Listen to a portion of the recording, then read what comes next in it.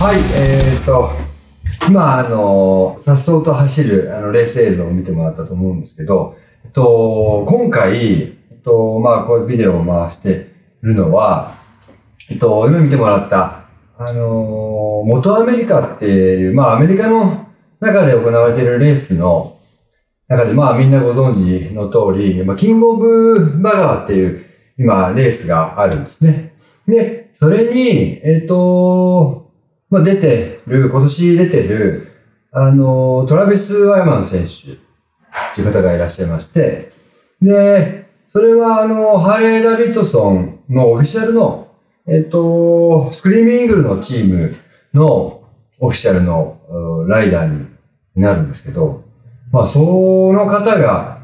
今年なんとあの、ヘルメットを、えービルモラ、これ、僕らがまあ、あのすごく長く付き合ってる。で、僕の方も、もう何回だ ?4 回ぐらい、まあデザイナーとして参加して、えっと、僕のモデルが、あの、出てたりする、すごく、あの、付き合い長い、あのブランドがあるんですけども、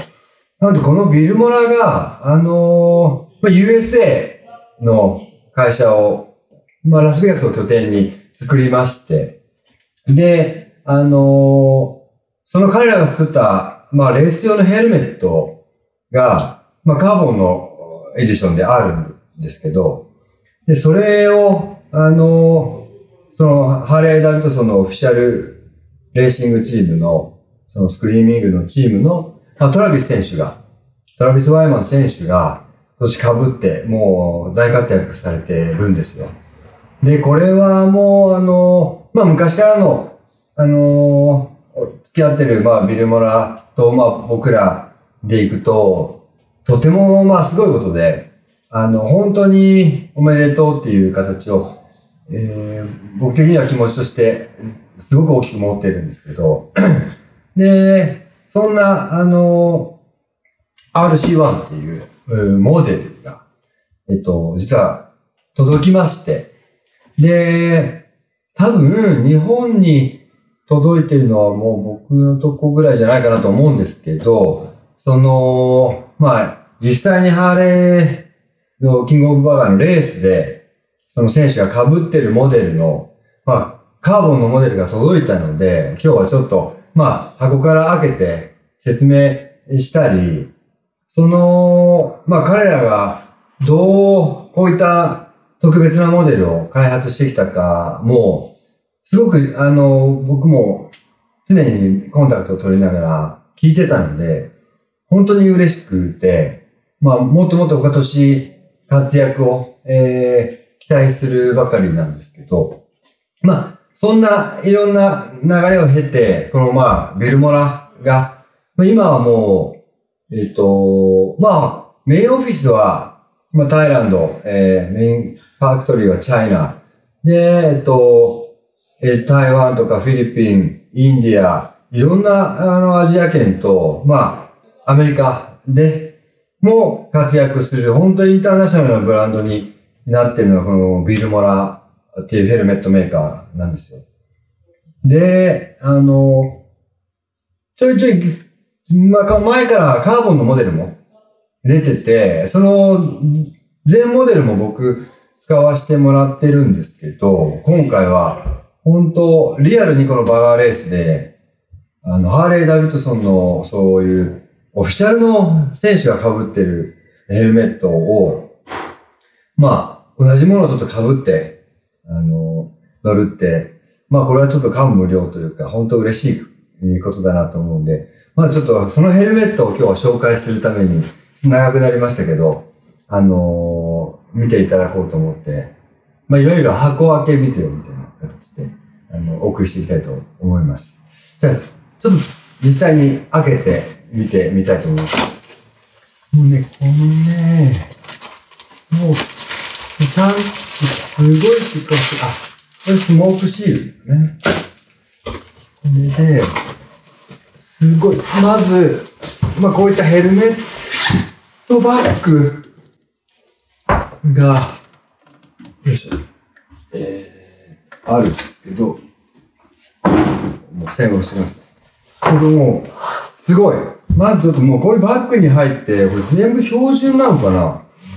ちょっとわかんないんだけど、こうやってバッグに入って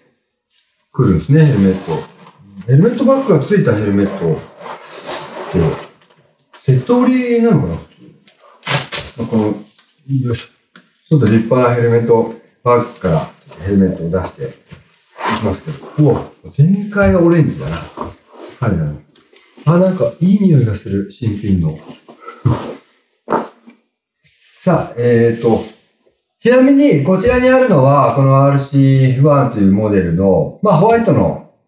モデルで、で、すごく、まあ、当然めっちゃ、これでも軽いんですけど、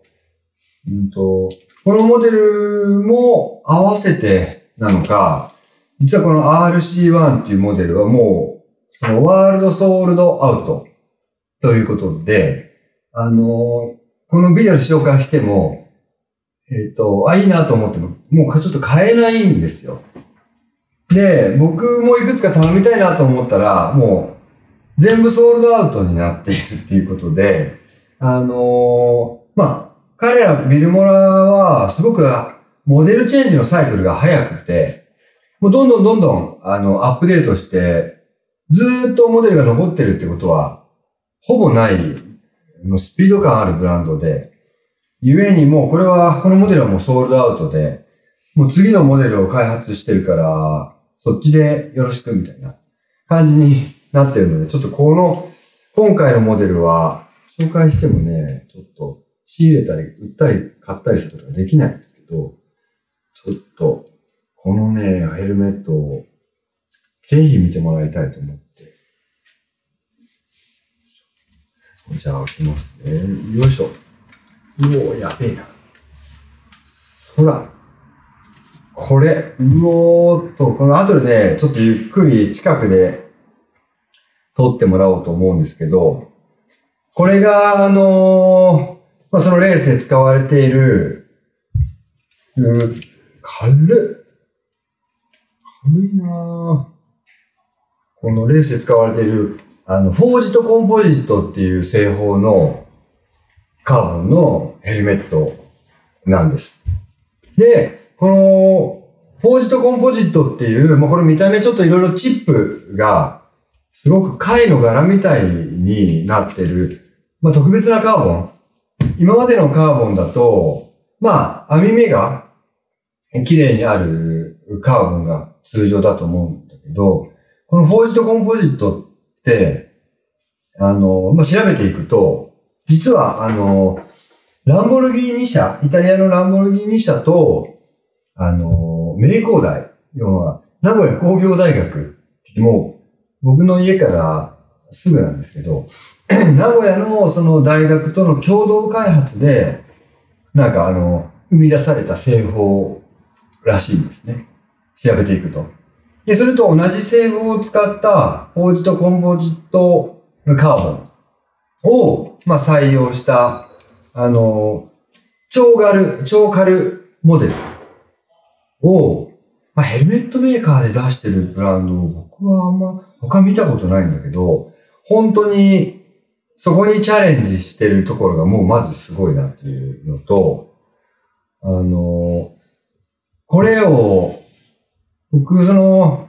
まあ TJ っていう、この仲間であり、まあ友人であり、あの、すごく僕を、まあ見つけ出してくれたインターナショナルエージェントでもあるんですけど、まああと、あのビルマラの社長の M さんと、まあ二人とすごくずっと、もう7年ぐらいやってきたな。もう7年ぐらいやってきて、で、彼らのこのヘルメットにかける情熱が、本当にすごくて、徹底的ヘルメットライフな奴らで、で、もうレースが好きで、で、ヘルメットにかけてて、で、この、聞いたらこのフォージとコンポジットの、この RC1 っていうモデルを作るのに、まあ、イギリスで1年半ぐらい、まあ、いろんなテストを繰り返してやってきたと。いうことをずっと聞いてて、まあそれはま強度だったり使用してみたり、いろんな形のテストを彼らはしてきたと思うんですけど、で、それでやっと、えっ、と、リリースできたのと同時に、これをハーレー・ダビッドソンのオフィシャルのレーサーが、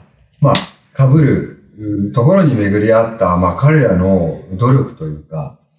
もう本当、すごいの一言で、で、またね、これがかっこいいんですよ。ちょっと作りが。で、ヘルメットメーカーってもう日本もイタリアもいろんなヘルメットメーカーが、競合がいる中で、やっぱ彼らは独自の自分たちのあの、やっぱコンセプトのもと、本当に今世界中に広がっていて、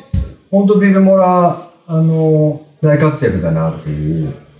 ふうにいつも応援して見てるんですけど、あの、まあ、応援だけじゃなくて、実はあの、今次のモデルの、まあ、デザインも、あの、一つ調整をやってる最中なんで、僕の、まあ、デザインしたモデルが、またもう一つ出ることになりそうなので、そっちも楽しみにしていただきたいんですけど、とにかく、あのー、このフォージドコンポジットのヘルメットを、もう見た瞬間にこれ欲しいから、このね、レーサーが走ってる姿を見てもすぐ欲しくなって、あのー、だいぶ前に依頼してたで、やっとちょっと届いたんですけど、で、届いた時にはもう、他がソールドアウトになっていて、えっと、紹介しても誰にもお渡しすることができないっていう、まあ、あの、まあ、残念かつ、まあ、それだけ人気の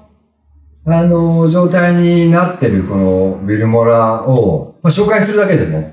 だいだいぶ意味があるのかなと思うので、まあ、これをね、ちょっと、今度、早速被って、まあ、トライクワークスも、まあ、二輪の方も、ちょっと新しいマシンが来るので、それをちょっとこれで改装してみたいなと思うので、まあ、そのインプレッションは、また、お送りするとして、今回はちょっとこの、彼らの情熱の塊みたいな、長年かけて開発してきたこの、フォージとコンポジットのカーボンのヘルメット、軽いしかし、をちょっと紹介するビデオにしたんで、また、えっと、ビルマラの方も紹介していく時があるかもしれないんで、ちょっと注目しててください。まあ、今日はそんな形で、ウィルマラのポージとコンポジット RC1 のヘルメットをどうしても紹介したくて、あの箱分け紹介しました、えー、ちょっとビルマラもチェックしてみてください。ありがとうございます。